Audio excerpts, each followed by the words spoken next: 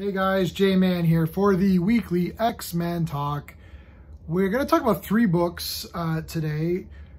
Knights of X 1 and 2 because I missed out on that one when it first came out. So we're going to talk about that. And we're going to talk about X-Men 92, House of 92. I think that's what that is. Uh, okay, so you know, this issue number one of this kind of caught me off guard. I really... Um, I really liked it. I thought it was a lot of fun. I didn't really understand what was going on. It seemed like it seemed like it it looked like the old cartoon, but it was talking about Krakoa and stuff. So I don't know if this is supposed to be like an alternate universe or something. But I don't care. I like the art. I like the color. I'm close to saying this is my favorite X-Men book that's come out. I don't know. It's a lot of fun. Though in this one, Jubilee keeps reliving her, her life or whatever. I, I didn't know Jubilee could do that. Let me know in the comments if I'm just being dumb and I didn't get and I didn't know that. I do like here, uh, we've got the sort of Pride of X-Men uh, lineup, which is from the X-Men arcade game, which I love. I love that X-Men arcade game. It's just so cool. I used to have it on my phone and then they took it off. That was really, that really irritated me. Man, that was a great game. Anyway, uh, okay, so yeah, I love the art here. I like the colors. It's really fun. So Jubilee's reliving her li lives here and um, it's just them on Krakoa now.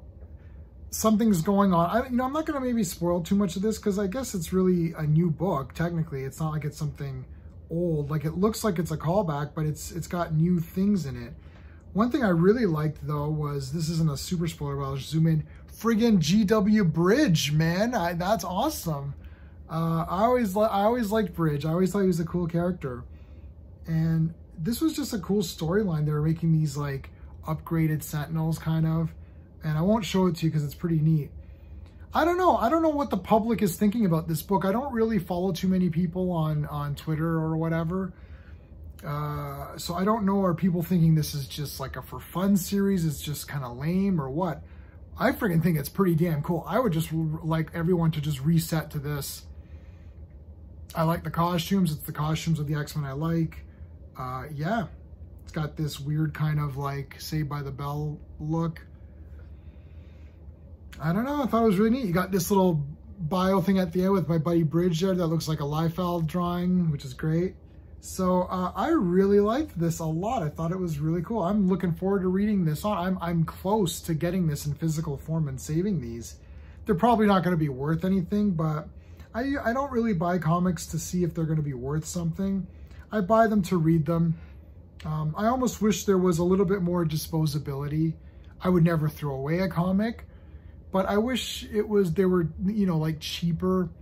And even if they went for like a, like one lower quality grade paper, um, it doesn't have to be the newsprint, but I mean, you could probably do something between that that is a little cheaper and, and drop a couple of bucks.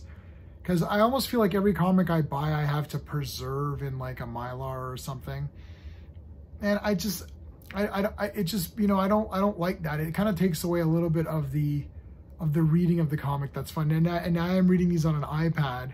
Uh, I do buy physical comics every week, but um, like this week I got Bad Blood and I got uh, Action Comics, or was that last week? Action, Wonder Woman.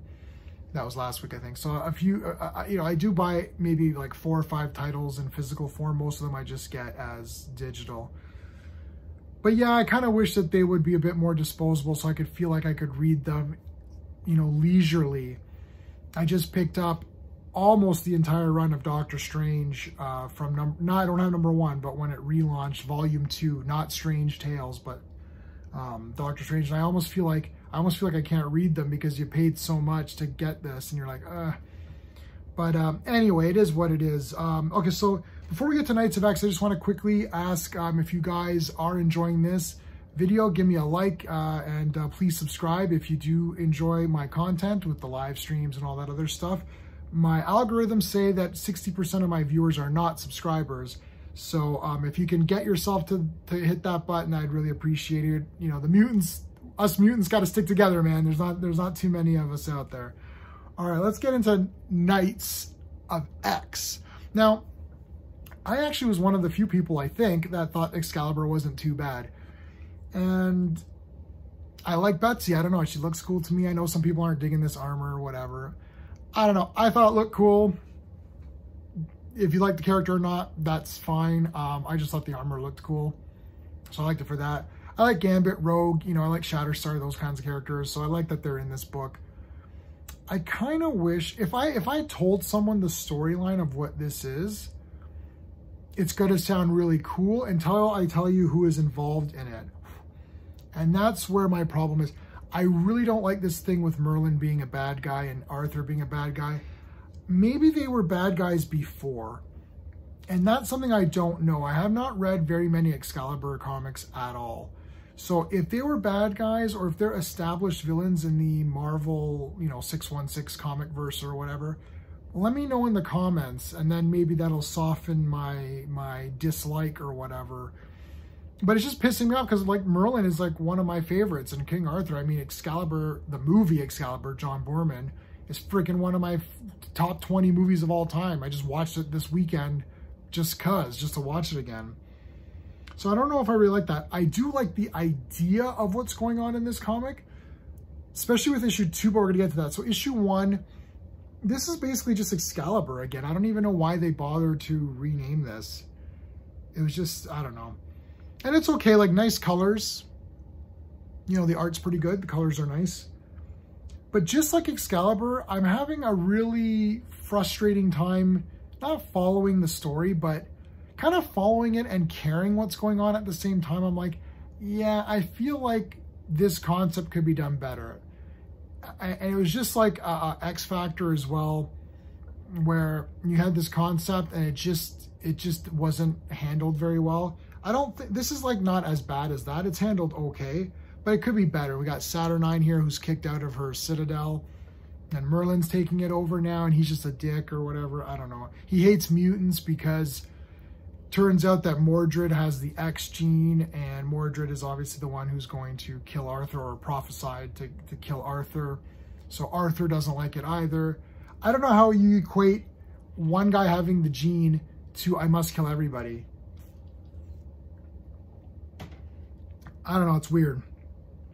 Anyway, so she needs to, so Betsy needs to gather together a bunch of mutants to help her out. That's basically issue one. There's Shogo. He's, he reminds me a little bit of Cub from Lone Wolf and Cub, Daigoro. Anyway, issue one was okay. Issue two is, is, is, is again, the idea of it is really cool. Execution of it is like, meh. So Merlin is here. He's pissed off at everybody. Um, this, uh, what's this guy? Jasper. What's his name? James, ja Jim Jaspers. He, he's pissed off at him now for whatever reason. I don't even get it. Um, the big thing here is, is that Betsy or Captain Britain has to get this Siege Perilous. Is that how you pronounce that?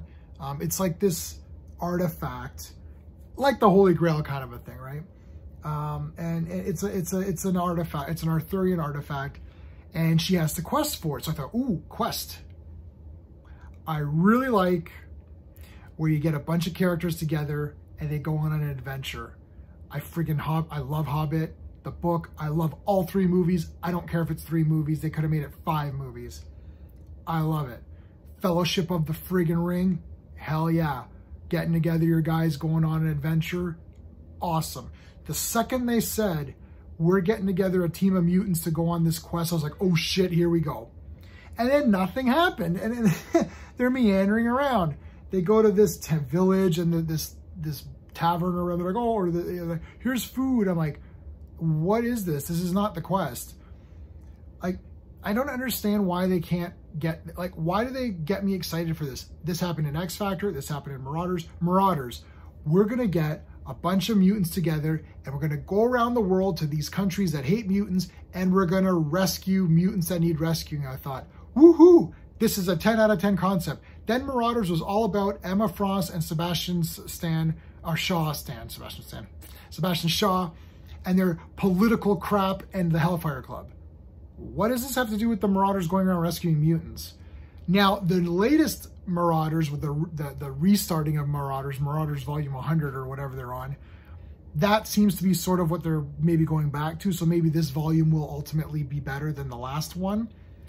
X Factor. We need a team of mutants to investigate mysterious deaths of other mutants. Woohoo! That's a great idea. Then nothing happened. There's no mystery. There was nothing. There was just, there was an attempt at mystery, but it wasn't very good. It's like trial of Magneto. Oh, this is so cool. There's going to be a trial. Then there wasn't a trial. I still liked Trial of Magneto anyway, uh, but it, it was not the Trial of Magneto. That was, they named that very badly. This too. So we're going on this quest, except we're not going on it. They're meandering around and then they fight these Furies or whatever. But this is not the quest. Maybe the next issue they'll go on it and then I'll like it. So I'm not giving up. I'm never, I'm going to read all the X-Men titles. Um, but yeah, there's like fight. There's also, you know, there's some fighting. I'm not really, I'm not really dying over the, the, the mutants in this either. I, I, think that we could have got a couple of different people, maybe a couple of more heavy hitters. You know, Rictor's okay. I like Shatterstar, but I don't know. Overall, to me, uh, this week, well, this week was really Knights of X2 and, and X-Men 92. And I really like X-Men 92. It was a lot of fun. But I don't think any of these books are really reaching the heights that X-Men should be reaching. That's sort of your main thing. I've been going through and reading some of the old New Mutants, like from number one, Chris Claremont. And even, I, I thought, I, when I first read those a long time ago, I thought they were kind of slow, but actually I kind of like them. New Mutants, New Mutants is still pretty good for me. I think maybe that's my favorite X-Men comic right now. Uh, yeah, I think that's my favorite. I do like the New Mutants. Maybe I, I'm a little partial to them in general just because I've got a little bit of favoritism for those characters. But I still, I think it's a good book so far, you know, Knights of X, I'm going to read it just to see where it goes. If they go on a, if the next book is they're, they're armored up, they got their packs, whatever, and they're like, let's go find this thing, then I'm going to be more excited. But we'll see how it goes. Okay, guys, tomorrow night, Sean and I are going to be talking about 90s comics. You know you love 90s comics. You have to join us on the stream. Come in the chat, interact with us. We're going to talk about whatever came out that month in 1990. So uh, that's tomorrow at 7.30 p.m. Eastern. And this Saturday, the Phantom Zone is back open mic. You guys can come in the chat or come in the in the stream with us.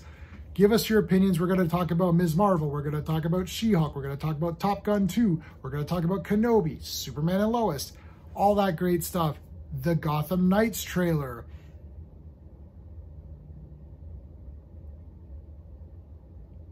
We're going to talk about all of it, and we want your opinion as well, so come join us at that time. All right, guys, thank you so much for watching. Until next time.